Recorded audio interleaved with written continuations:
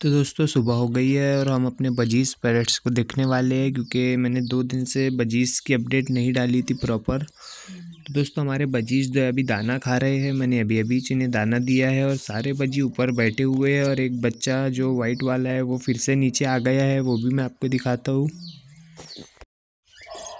तो हेलो दोस्तों, कैसे आप सब? ठीक है तो दोस्तों, अभी हम अपने बजीज पैरेट्स को देखने वाले हैं, क्योंकि मटकियों में वो बच्चे दो है उसके अंदर तो क्या कर रहे हैं? चलिए दोस्तों चलते हैं और आपको दिखाते हैं।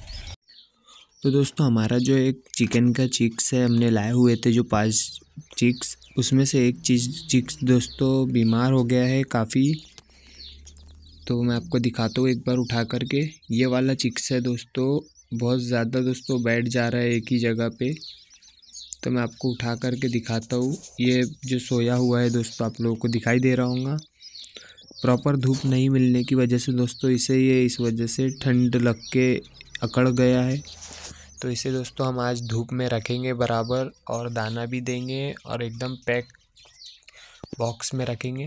तो दोस्तों हमने इसे बाहर निकाल लिया है और आपको दिखाना चाहता था मैं कि ये बहुत ज़्यादा दोस्तों झीम रहा है और ऊँग रहा है। तो इसे अभी हम दवा भी दे देंगे। हमारे पास जो विमेरल टॉनिक है, जो हम अपने बजीज़ को भी देते हैं, इसे भी दे देंगे दोस्तों। तो जल्द ही दोस्तों ये भी ठीक हो जाएगा। अल्लाह करे कि दोस्तों ये ठीक हो जाए और इसे भी सारे बजीज़ के जैसा अच्छा रहने को मिले। तो रख देते हैं दोस्तों हम इसे अभी उठा करके और दिखाते हैं हमारे बजीज़ को हम देने वाले आटा। तो दोस्तों, अभी हम अपने बजीज परस्ट की मटकी चेक करने वाले हैं, जिसमें बच्चे हैं। तो दोस्तों, इस मटकी में दोस्तों, दो बच्चे और बरोबर दोस्तों, ये रखे हुए हैं और अच्छी सेहत है इनकी। और दोस्तों, चलते हैं और अभी हम आटा लेकर के आते हैं और हमारे बजीज को हमारे सॉरी हमारे चिक्स को दे देते हैं आटा। तो दोस्तों, ये वाला चिक्स का बच्चा दोस्तों, काफ़ी देर से नीचे आया हुआ था तो ये भी दाना खाने लग गया है वैसे, थोड़ा सा उड़ नहीं पाता है बस।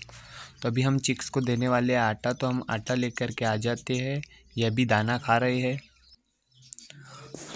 तो दोस्तों, अभी हम आटा देने वाले हैं हमारे चिक्स को। चिकन के जो चिक्स हमने लाए हुए थे दोस्तों, पाँच, उन्हें देने वाले हैं आटा।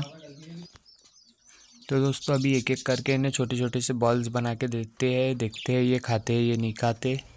वैसे ये रेगुलरली खाते हैं तो इसलिए ये हो सकता खाएँगे। तो देखिए दोस्तों, कितनी स्पीड से ये खाने लगे हैं और बड़े मज़े से दोस्तों ये खाते हैं।